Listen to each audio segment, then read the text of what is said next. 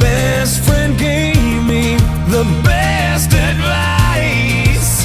He said each day's a gift and not a given right. Leave no stone unturned, leave your fears behind, and try to take the path less traveled by. That first step you take is the longest ride.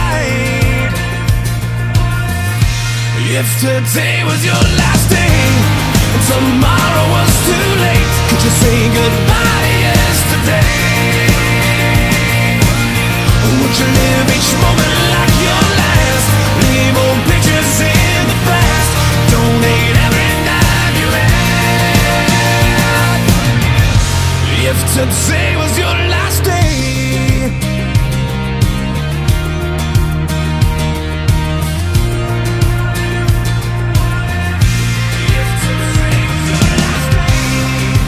Against the grain should be a way of life.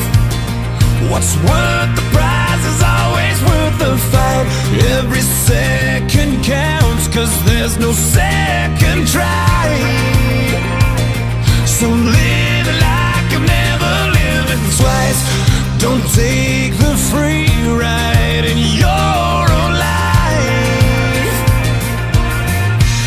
if today was your last day and tomorrow was too late? would you say goodbye yesterday?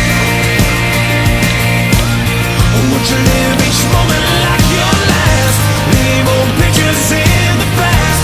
Donate every night you have. And would you call those friends you never seen? Reminisce on memories. Would you forget?